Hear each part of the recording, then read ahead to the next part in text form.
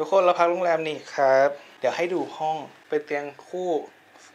แบบนี้ เดี๋ยวพาไปดูห้องน้ำเดี๋ยวพาไปดูห้องน้ำเดี๋ยวพาไปดูห้องน้ำห้องน้ำใหญ่อยู่แล้วก็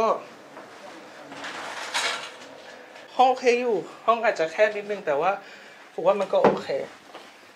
สำหรับใครที่จะมาพักที่นี่ตามเรานะครับ จะมีค่ามาจำ500 ดอลลาร์ฮ่องกง รับเฉพาะเงินสดกับบัตรเครดิตเท่านั้น การฝากสัมภาระคือสามารถฝากที่ล็อบบี้ได้ถึง 6 โมง หลังจากนั้นก็จะมีค่าบริการอ๋อทางโรงแรมมีตัวแปลงมาให้ด้วยนะครับทุกคน แล้วก็มีในส่วนของตู้เย็น มีตู้เย็น มีการน้ำร้อน แล้วก็มีไดร์อยู่ตรงนี้ แล้วก็ที่แขวนเสื้อผ้าก็มีแค่นี้ ห้องโอเคนะ เออมีทีวีด้วยทุกคนมีทีวีด้วยตรงนี้นะครับ